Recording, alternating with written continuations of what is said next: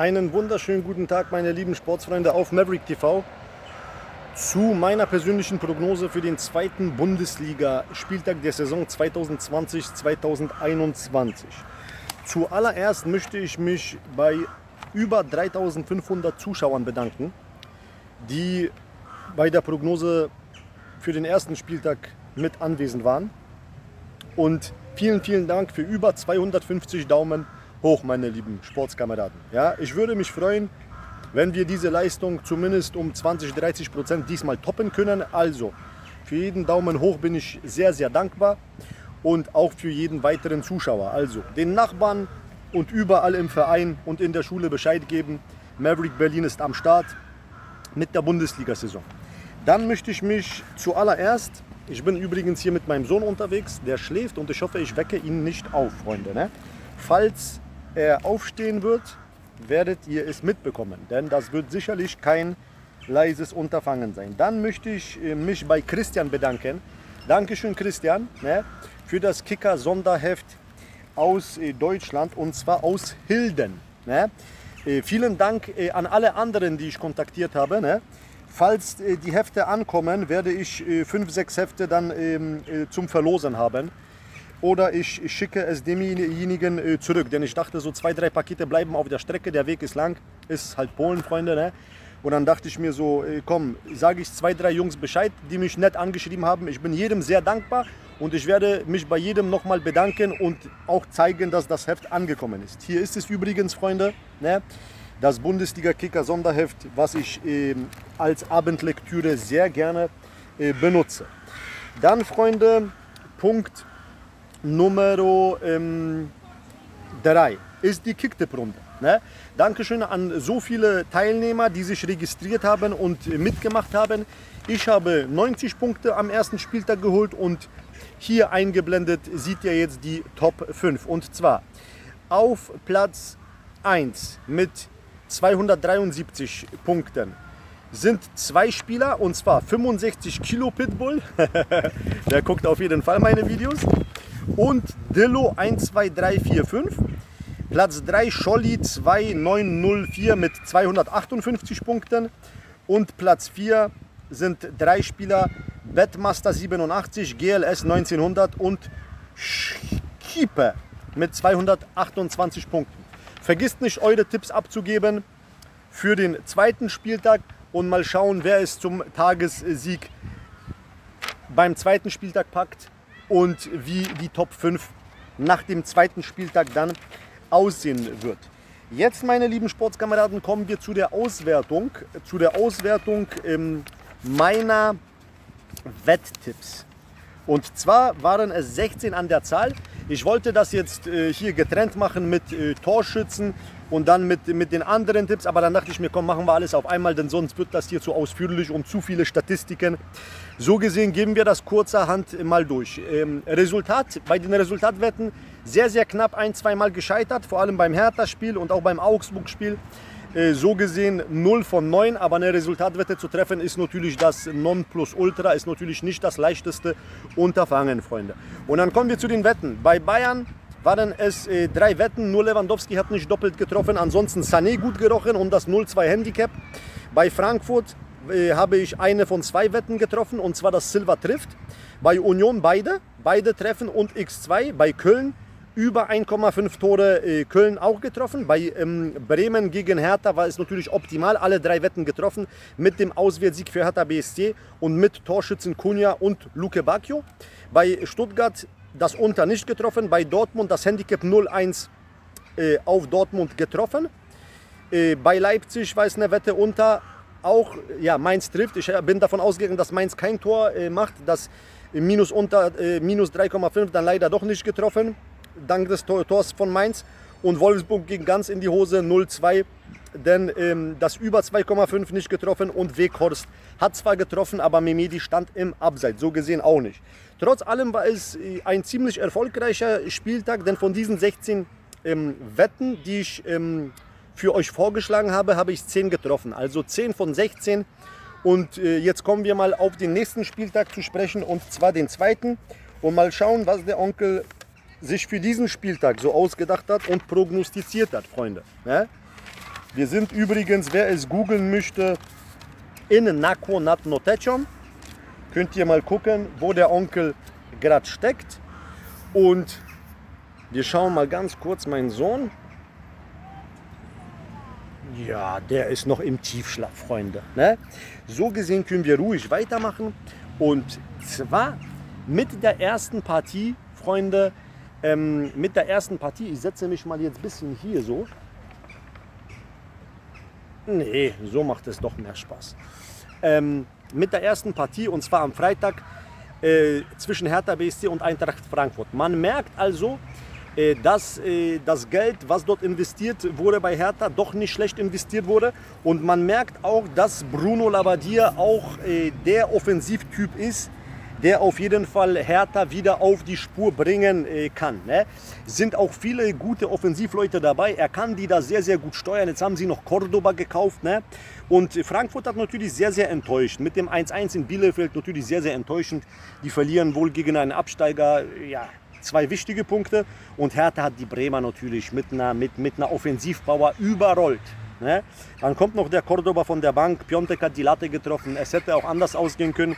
Man muss auch sagen, äh, ja, sehr, sehr lustig. Äh, wieder, ja, dazu kommen wir dann, wenn, wenn, wenn ich das Bremen-Spiel prognostiziere, denn da ist auch noch eine kurze Anekdote zu sagen.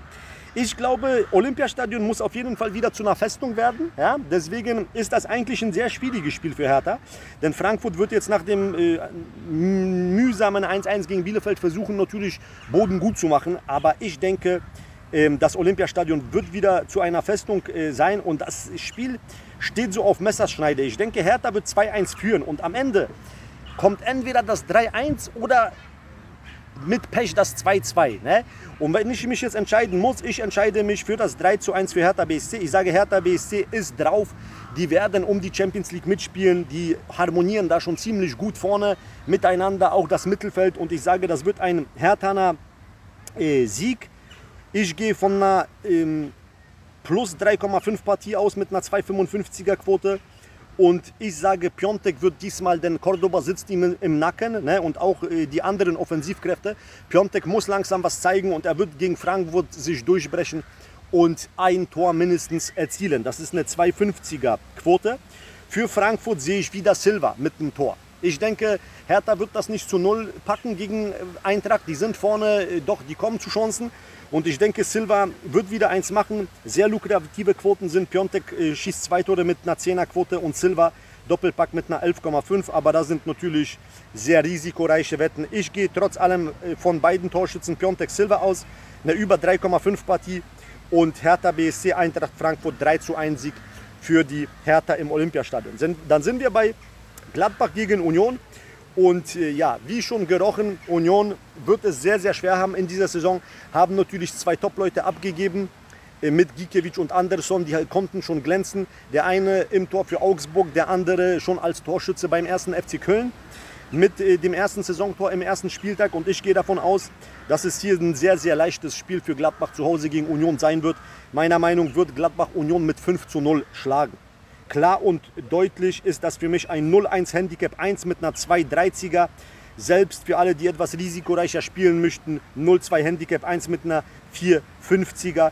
Ich gehe aber als Wetttipp hier vom 0-1 Handicap 1 aus mit einer 2-30er Quote. Und als Torschützen habe ich mich hier für Tyram mit einer 220er entschieden und für Player mit einer 210er. Ich glaube, dass äh, die beiden Torschützen der letzten Saison der Gladbacher äh, jetzt gegen Union äh, den Gegner kriegen, wo sie beide wieder den Ball über die Torlinie äh, ja, schießen werden, treten werden, köpfen werden oder sonst wie auch immer über die Linie kriegen werden. Ähm, und äh, sage, beide werden jeweils treffen, auch wenn sie von der Bank kommen sollten.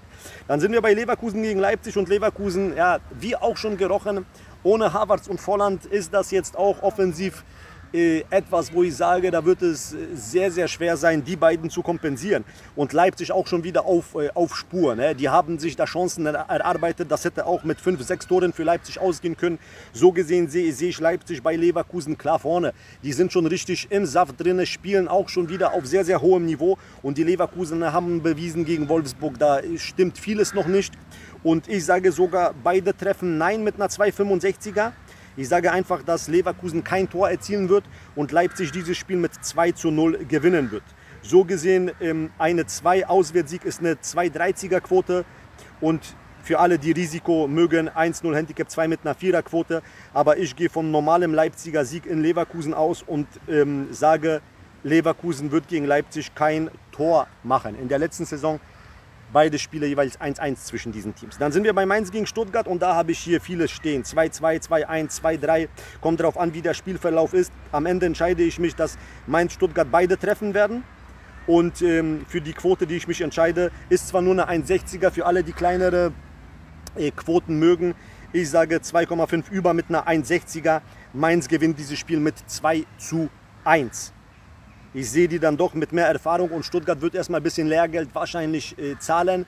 Äh, ein 2-2 würde mich jetzt nicht überraschen bei dem Spiel, aber ich setze mich trotz allem fest, dass die Mainzer zu Hause die Stuttgarter besiegen werden. Dann sind wir bei Augsburg gegen Dortmund und die Dortmunder äh, Jungspund, äh, ja, Jungspund äh, Bande ist natürlich im vollen Zuge. Ne? Haben jetzt schon bewiesen, Haaland ist natürlich, äh, das ist eigentlich schon ein 28, 29-jähriger ähm, erfahrener Starstürmer, so wie der jetzt momentan mit 20 spielt. Bedenkt man, dass Haaland mit Sancho beide 20 Jahre alt sind und beide zusammen schon 45 Bundesliga Tore erzielt haben, muss man da eigentlich nicht äh, viel hinzufügen. Beide Spiele letzte Saison sehr torreich, 5-3 und 5-1 für Dortmund. So gesehen sage ich, wird sich Augsburg äh, zumindest in der Abwehr bessern um ein Tor und kriegen nur vier rein. Einmal kann Augsburg treffen, denn so schlecht sind die jetzt auch nicht besetzt und Dortmund ist mal für ein Gegentor gut. So ist das für mich ein 1 zu 4 Dortmunder Auswärtssieg. Für mich eine plus 3,5 Partie mit einer, ja, da, da fallen vier Tore. Ja? Wenn nicht, macht Dortmund die alleine. Sollte Augsburg treffen, ist das sowieso eine plus 3,5 Partie mit einer 2-10er-Quote, auf die ich mich entscheide. Sancho wird treffen mit einer 2-10er-Quote. Ich denke, der wird sogar zwei machen. Das ist eine 7er-Quote, aber ich sage, Sancho wird treffen. Und Haaland müsste man Doppelpack anspielen mit einer 3,40er. Aber das ist dann halt auch mit einem Doppelpack äh, manchmal gefährlich, denn da sind auch viele andere, die treffen können. So nehme ich nur Sancho in die Wetttipps mit rein und das Plus, 3,5 mit 2 Zehner und das 1-0 Handicap 2 mit einer 2 Zehner auf Handicap Dortmund. Dann sind wir bei Bielefeld gegen Köln und die Bielefelder, sie an, sie an, gegen die Frankfurter ein Remis erkämpft. Köln hat zwei Tore geschossen gegen Hoffenheim. Am Ende verlieren sie unglücklich mit 2-3 in letzter Minute durch das dritte Kramaric-Tor. Ich sage, Köln wird in Bielefeld gewinnen. Und erstmal äh, war mir so das 2 zu 0 für Köln hier so im Kopf rum, aber dann denke ich mir, ja, drei haben die von Hoffenheim kassiert zu Hause. Äh, Bielefeld hat eins gegen ähm, äh, Frankfurt gemacht. Ich denke, Bielefeld kann gegen diese Kölner, das ist jetzt auch kein Spitzenteam, deswegen kann Bielefeld da eins machen und entscheide mich dann doch für das 1 zu 3. 3 zu 1 Köln. Ähm, die Wetten, für die ich mich entscheide, ist Auswärtssieg Köln mit einer 2,50er. Das Handicap ist natürlich gefährlich mit 1-0 Handicap 2,450er ist gefährlich. Und ich entscheide mich hier für Torschützen für Köln Anderson. Der wird auch gegen Bielefeld treffen und der hat eine 2,50er äh, Quote, eine 10er auf zwei Treffer, aber ein Tor wird er erzielen. Wenn Bielefeld, dann denke ich Klos mit seinem ersten Bundesligator mit 2,50. Aber ja, kann auch sein, dass Bielefeld kein Tor machen wird. Deswegen setze ich mich hier fest auf den Kölner Auswärtssieg mit einer 250er und auf das Anderson-Tor mit einer 250er Quote. Dann sind wir bei Schalke gegen Bremen, Freunde. Und man muss dort eins bedenken. Ne? Äh, wie sich Selke äh, nach dem Tor gefreut hat, das ist ja wie, wie das WM äh, goldene Tor von Gütze. Ne? Das war das Tor zum 1-3, Freunde. Und der, da, da, hat man gesehen, wie die Ladehemmung ihn getroffen hat. Er hat mein Video gesehen, das hat ihn motiviert. Glückwunsch, dass er auf jeden Fall am ersten Spieltag sofort trifft und dann auch so jubelt. Ne? Ich habe noch nie jemanden so krass jubeln sehen bei einem Tor äh, auf 1 zu 3. Ne? Wo jemand auf 1-3 verkürzt und dann so ausartet, als wenn das ein Siegtor wäre, Freunde. Ne? Lustige Aktion, da habe ich mich, mir das Schmunzeln nicht ähm, verkneifen können. Und ähm, ja, jetzt spielen die Bremer, die natürlich gegen Hertha keine Chance hatten, gegen Schalke, was Schalke äh, gespielt hat, hat man ja gesehen, die haben wirklich, die, die, ersten 60 Sekunden waren sie besser als Bayern und dann haben sie in 89 Minuten einfach Schläge kassiert mit 0-8. Trotz allem, eine gute Chance gegen Bayern haben sie sich in 60 Sekunden erarbeitet, schafft auch nicht jeder. Und ich sage jetzt Not gegen Elend, Schalke nach über einem halben Jahr ohne Bundesligasieg, wenn nicht gegen Bremen, dann geht es wirklich um den Abstieg in die zweite Liga. Die werden sich jetzt durchbrechen und Schalke wird nach über einem halben Jahr endlich mal wieder ein Bundesligaspiel gewinnen. Ich wollte erst mal 2-0 sagen, aber dann denke ich mir, Schalke ohne Gegentor, da werden die Bremer natürlich treffen. Deswegen setze ich hier auf ein 2-1 Schalke 0-4. Die Quote, die ich nehme, ist eine 2,5, also Heimsieg Schalke und plus 1,5 Treffer für Schalke. Dass Schalke zwei Tore schießt gegen die Bremer mit einer 2-10er. Quote. Dann sind wir bei Hoffenheim gegen Bayern. Achso, übrigens habe ich noch Torschützen für die Schalker. Und ich, ich denke Uth oder Harit. Und mit einer 2,90er oder einer 4er Quote. Aber ist natürlich sehr, sehr gefährlich, die, die reinzusetzen in, in, die, in die Wetten jetzt. Ansonsten, irgendwas sagt mir, dass Harit treffen wird mit einer 4er Quote. Aber ich traue mich nicht, das hier hinzuzufügen in die Wetttipps. Dann sind wir bei den letzten zwei Partien Hoffenheim gegen Bayern. Und so tief wie die Bayern stehen, ne, ähm, werden die jetzt ein Tor von Hoffenheim kassieren. Hoffenheim ist gut genug, die haben auch letzte Saison gegen Bayern gewonnen mit 2-1. Ich denke, Hoffenheim wird treffen gegen die Bayern. Offensiv sind die natürlich in einer unfassbaren Verfassung und äh, dort wird Hoffenheim nichts machen können. Dort wird es auch Gegentore regnen. In der letzten Saison 6-0 und dann haben sie ähm, wegen der beleidigenden Szenen auf den Rängen aufgehört zu spielen, sonst wäre das auch ein 9 oder 10-0 für die Bayern. Äh, ich sage hier sehr lukrativ. Tor Hoffenheim ist meine Wette mit 1,58er. Ich denke, ein Tor wird Hoffenheim gegen die Bayern machen. Da wird Krimaric äh, durchkommen, aber ich denke auch äh, Bebu von der Bank aus kann da durchkommen. Und ansonsten gehe ich hier von einem 2-4, 1-4, 1-5 habe ich hier stehen. Ne? Und ich mache es mal lustig und sage, das wird ein 2 4 für die, für die Bayern. Und auf plus 1,5 Hoffenheim ist eine 3,2er Quote. Ne? Also ist auf jeden Fall eine sehr, sehr lukrative Quote. Ähm, aber zwei Tore dann gegen die Bayern zu machen, ist dann doch schwer. Aber die Quote ist natürlich lukrativ mit einer 3,2. So gesehen denke ich einfach mal, äh, dass ähm, wir es belassen mit einem Tor für Hoffenheim mit einer 1,58er Quote. Und ähm, das äh, plus 4,5 mit einer 2,20er Quote nehme ich dann auf. Ähm, und ähm, als Torschützen, ja, Kramaric, da ist die Quote noch nicht raus.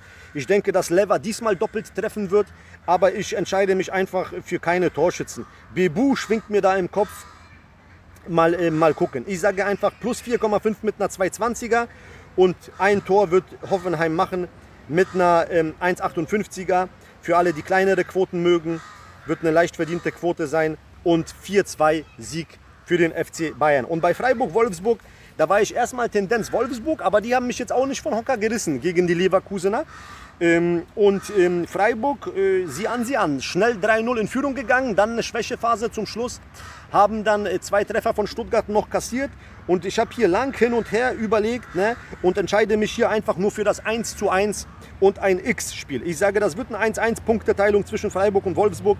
Freiburg wird eins machen, Wolfsburg wird eins machen und das wird eine 340er Quote mit einem Remis und so belasten wir das Spiel, denn es ist ein Spiel, ja, das ist jetzt nicht so lukrativ zum Wetten, meine lieben Sportskameraden. So, ich bedanke mich für jeden Daumen hoch, falls euch die Prognosen so ähm, gefallen, Freunde. Und ähm, ich bleibe fokussiert, arbeite schon an neuen Videos. Falls ihr euch ähm, was zu der Europa League morgen wünscht, äh, mal kurzes 5-Minuten-Video mit 5, 6, 7 guten Tipps von mir, äh, lasst es mich wissen mit einem Daumen hoch. Bei 400 Daumen hoch kommt auch morgen ein Video. Ansonsten sehen wir uns dann beim dritten Bundesligaspieltag und bei vielen anderen Videoprojekten, an denen ich jetzt arbeite. Es wird auf jeden Fall heiß, denn ich komme auf jeden Fall mit Videos hinter den Kulissen, denn ihr solltet mal vieles erfahren, was ihr noch nicht vom Wettpaten erfahren habt. Eine Biene attackiert meinen Sohn, geh weg!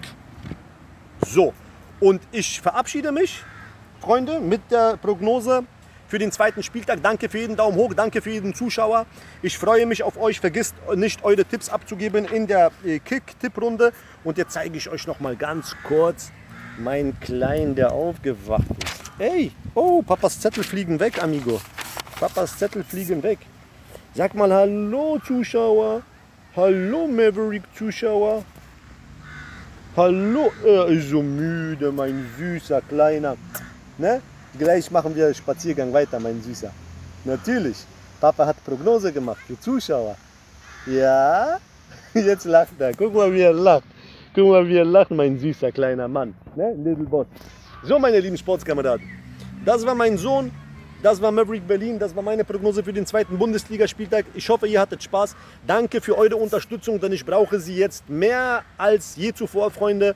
Aber Näheres erfahrt ihr dann in den nächsten Videos. Peace out und ratatatata macht die Geldzielmaschine. Yeah!